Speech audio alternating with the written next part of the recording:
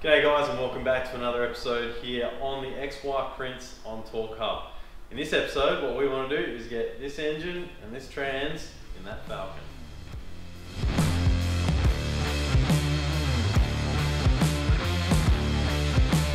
Alright guys, so probably should run over some of the stuff that we've got that's going to help us do the job. So if you want to come over here, I'll just sort of run through a couple of the bits and pieces that we chose to get this into the car. So Starting off with one of the Lokar locking trans dipsticks. These are pretty awesome because they've got like a little slide lock uh, and you put that little dipstick in there before you change in the box or whatever. Also got to lock up the top section as well. So you don't have any risk of it blowing out or leaking or any of that junk. It kind of, you know, small things like that that make a good day a bad day just because you got oil and crap everywhere. Um, we're running a Turbo Smart Race port. This is very similar to their new uh, Gen V uh, blower valves, but has a pretty soft spring in it to suit a blower application. Um, so it seals up nice and quick. And this, yeah, this is a supercharger specific Raceport. Um, I'll actually put the part number to this in the description below. So if you are doing a supercharged setup and you're looking for a good blow off valve or Raceport, this would be the one that I would definitely recommend. Um, Australian made as well, which is very important to us. We like that kind of thing. That's it, man. If we like, if you can buy something that's Australian made, we buy it. Yeah, that's it. For an extra, if it's an extra fifty bucks, I mean, in this case, I think that's a very well priced. Yeah, compared to the the big red Procharger blow off valve that most people would run, it, it's it's actually probably half the price. Yeah, that's right. It's good value, and but even if it was an extra fifty bucks, I'd probably choose the Australian made version anyway. Yeah. Um, moving on from there, we've got a couple of bits from Rod Shop. Um, those guys have a YouTube channel as well. If you want to check that out, Castlemaine Rod Shop or Castlemaine if you're from Victoria. Shout out to our Victorian friends. Um, we got Transmount, got a cross member here. This is to suit, I think it suits a multiple amount of uh, transes, but this one will suit a Turbo 400 into an XY, which is handy. We've also got the XY Windsor engine mounts here. And then we've got these absolutely stonking heads from Competition Engines. Um, these are their own, I guess, custom made type of extractor, and it's to suit any XR, XY, uh, Windsor setup, whether it be like a 9.2 deck or a 9.5 deck. Two inch primary extractors coming into their four into one collector um, out to a, a, megaphone here, three and a half inch outlet, I think it is. Um, slip collector here. The best part about them, if you've ever tried to put extractors into an XY, you'll know, especially on the driver's side, super tight. When you got the steering box and everything there, it can be a real pain in the ass. Um, these are individual runners into the slip collector. It's so, a, it, it is a nightmare of a job. Oh, Even just doing absolutely. plugs on these cars is a pain in the ass. Let's be honest. Yeah, you're dead right. So these do make the job a hell of a lot better. And I mean, stainless, TIG welded. It doesn't get much nicer than that, does it? And these were pretty good price for, for what they are. Yeah, it's um, it's basic. It's like a custom pipe, but it's something you can just ring up and order. Like it's a shelf item. Yeah. You really we there's nothing else around. This is it. Like if you want something, there's nothing really um, else off the shelf that we could find that could um, that had any sort of decent primary. You know. no, it. that's right. I mean, you were considering making some, but when we found these, no brainer. Really. Yeah. Like, basically, there was nothing else we found around that was going to suit what we needed, and yeah. I was very reluctantly coming around to the idea that I might have had to make a set of pipes and and if you guys out there, if you've ever made a set of headers, it's a lot of work. It really is a lot of work. And when you're dealing with a car that looks this nice, that has paint as nice as this one, as a fabricator, that is honestly one of the last jobs you want to be doing is swinging bloody yeah. pipes and stuff in. It's really, it's so this, it's almost a godsend from the the competition engines guys. Um, yeah. Yeah.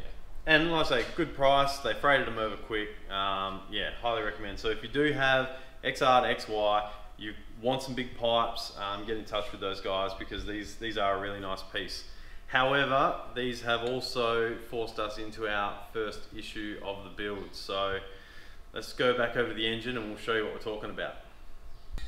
Alrighty, so we ran through this engine in the last video, but just as a quick recap, we've got a World Block 411 cubic inch Windsor V8 with Edelbrock Victor Jr. CNC alloy heads uh, running an F1R Procharger. This thing's probably going to make a fair amount of horsepower, probably sitting maybe somewhere around the 600 wheel horsepower we estimate, but we don't know until we get there. But with that much steam coming out, we want a good flowing extractor. Now these are a two inch primary extractor. And if anyone from Edelbrock is watching, we just got to ask you why. Honestly, why? This has given us our first headache on the build so far. And as you can see, if I was to put this extractor up to that port, it absolutely smothers it. So the issue that we've got here is a two inch primary pipe running on a two inch manifold bolt spacing. How ludicrous is that? It's not ideal, man. It is not an ideal situation. No, that's it. I mean, that means that the primary pipe is essentially occupying the same space as the bolt hole. Um, so yeah, it's literally two inch between the center of that hole to the center of that hole there, whereas this is a two inch primary pipe. So it just completely smothers it. You'd think that any aftermarket head would be for a performance engine that's going to push some power. That sort of bolt spacing is going to limit you to a pretty small primary pipe, like a really small primary pipe. Even a one and three quarter inch, you'd be struggling to fit a bolt in with that sort of setup, wouldn't you? Like yeah, absolutely. That yeah. primary but pipe versus the flange, it's going to be hard. So once you throw like a socket on and the bolt and everything, like oh, to, just to me, like look from from when I first looked at it, because this was taped off when we got the engine, so we didn't allude to it early enough. You know, we could have hit this um, problem a bit earlier, but even just looking at how much meat, like we're not Ford guys, so you know we're not full bottles on this stuff, but no. having that much meat between the bolt and the port really doesn't make much sense to me. But anyway, yeah, uh, it is what it is. Anyway, if you had a set of AFR heads, um, you can get them with both. Uh, has both of them, so you got a two-inch and a three-inch bolt spacing. The bolt holes end up being right next to each other. This flange here has a three-inch bolt spacing, so we haven't we haven't gone all out and bought a set of AFR heads. Um, but what we do need to do is we need to take these Edelbrock heads off. We're going to take them to Galloway engines and they are going to machine the three inch bolt spacing holes so that we can fit these pipes on. So I guess first job K Fizzy, let's get these heads off. Yes, let's do it.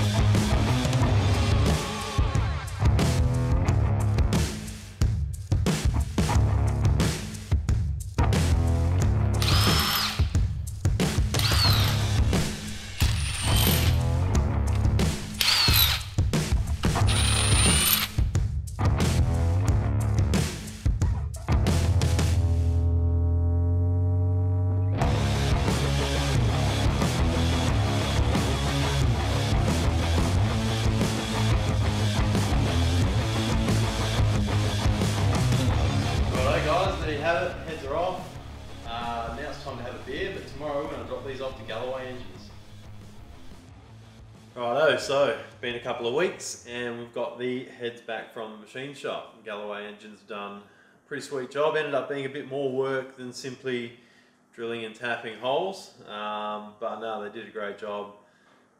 Pretty decent turnaround in a couple of weeks and I got this thing screwed together last night over a couple of tins.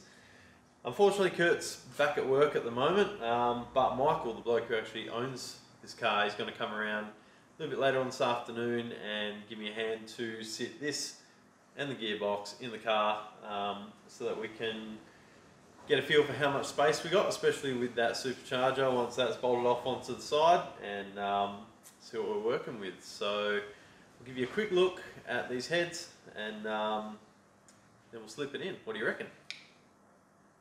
Alright, so here's what we had to do in the end. Um, you can see here we've got the original two inch bolt spacing holes there that have been filled in with the new three inch um, bolt spacing holes there to accept um, our exhaust flange. So what we also didn't realize before, I've got this exhaust run here.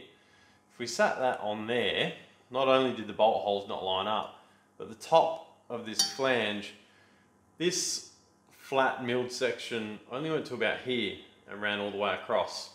Um, so when that exhaust primary is sitting on there, half of the flange, or more than half of the flange, was actually sitting off the flat section. So wouldn't have had a great seal. Um, so as well as drilling and tapping these holes for us, putting these studs in and milling it all flat, Galloway's has also TIG welded this extra rail on the top, um, and milled the whole section flat for us. So a little bit more work than what we first thought, but it, um, it did turn out pretty well.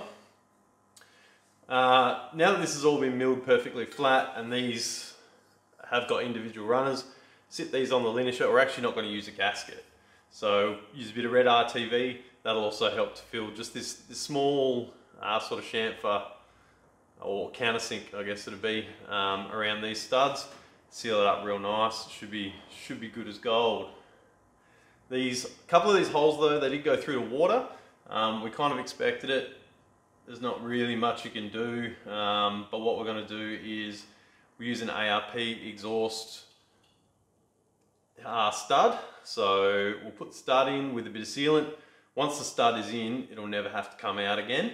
So that means we won't disturb the water jacket or whatever. Um, we'll literally just slip the exhaust on and off the stud. The studs will stay put. Um, those will be secured with the ARP 12 point nut. But um, yeah, pretty stoked with how it came out. It's gonna work perfect for what we need. Why the Edelbrock heads didn't have this dual hole set up, kind of like what AFR do from the start, I don't know. Um, but it's done now, so we can get cracking. So hopefully Michael will be here real shortly and um, we'll get to work sticking this in the Falcon. Let's do it.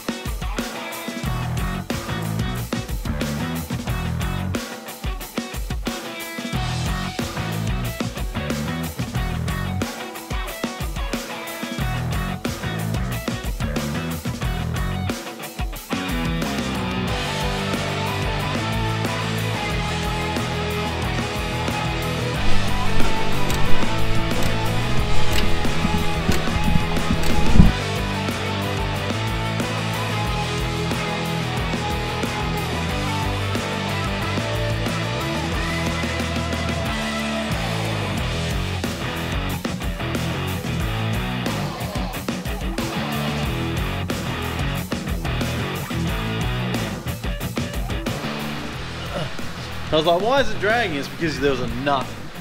The nut that you dropped. I don't know what you're talking about. Well, we got some rain happening and we're using the Transjack 8000, aka the roll box. Michael's just got to disconnect the handbrake. These have a cable brake which doesn't clear the tail housing. So uh,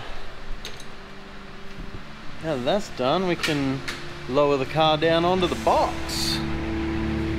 Sick.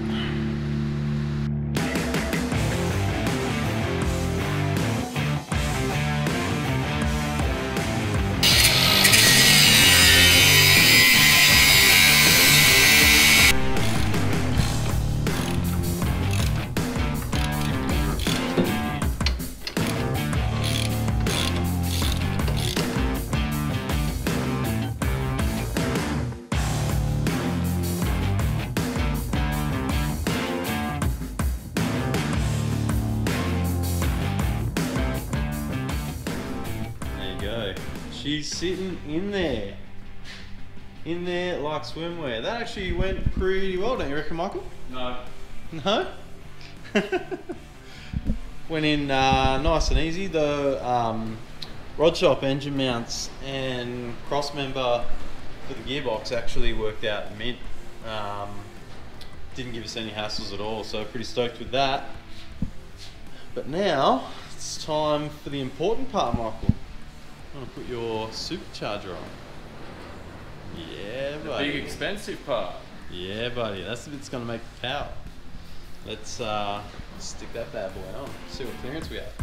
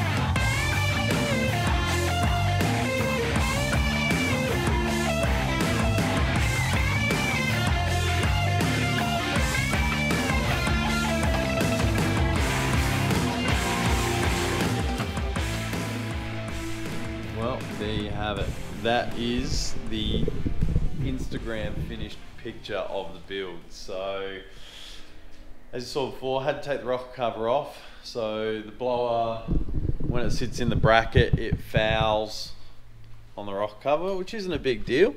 Um, you can see there's plenty of room. Let's get around here. There's plenty of room there between the impeller and the rocker itself, so we'll be able to notch the rocker cover. The bigger issue is that the blower actually hits the bonnet. So that's a that's about as far as we've got. That's obviously just sprung up a little bit more there, but we are pretty close. What happens next? Well, got to do a little bit of research. We've got to figure out is that bracket gonna do what we need it to do? I don't think they do another bracket. There is another brand, DNA does one. I'm not sure if that's even going to help our situation either. Um, what else might we need to do? Well, we might need to lower the engine down a little bit. There is a little bit of room down here. Don't know if you can probably see that on the video, but it's probably about 25, 30 mil between the sump and the subframe. So um, we may be able to shorten the engine mount slightly and gain a little bit there. Uh, but yeah, we need to do a little bit more research. Was really hoping this was just going to bolt in and work. Um, I was hoping that after this was done, the next step would be start measuring up our intake situation, um, tail shaft, and start getting the fuel system underway. But unfortunately, not quite so simple. Always a bolt-on kit issue. That's just how it is. But as it is, the engine was going to have to come out again anyway. Um, so it's no great loss, but yeah, it's just an extra step that I was hoping that we wouldn't have to put up with. So thanks for watching. As I say, it is what it is, and we'll have to move on from here. But um, make sure hit subscribe button so you don't miss the next episode, and we will tackle the next issue here on the XY Prince. But thanks for watching. We'll catch you on the next one. Cheers.